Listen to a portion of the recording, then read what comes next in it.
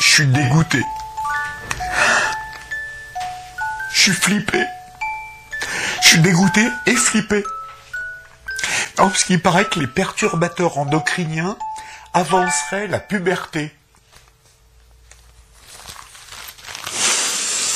Et tel que vous me voyez là, si ça se trouve, j'ai 13 ans. Je suis en train de passer à côté de mon adolescence. Putain. Bah ouais, mais bon. Si je vais jouer au, jardin d'enfants, on va me prendre pour un pédophile. Et, et si je vais au bistrot boire une bière et fumer une clope, mes parents ils vont me mettre une baffe.